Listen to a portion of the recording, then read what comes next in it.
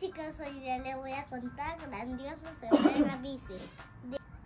El oso siempre andaba en su coche bien grande que botaba humo. Se iba a trabajar con él, pero un buen día el coche se averió.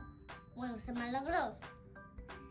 Y, se, y el oso se fue a comprar su bicicleta días manejaba su bicicleta. Manejaba, manejaba, pedaleaba. Y un día los animales se rieron del oso porque andaba en bicicleta.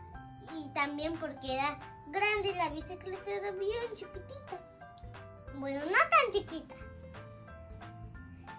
Y, y el oso siempre siempre cuando estaba manejando se ponía más fuerte y saludable.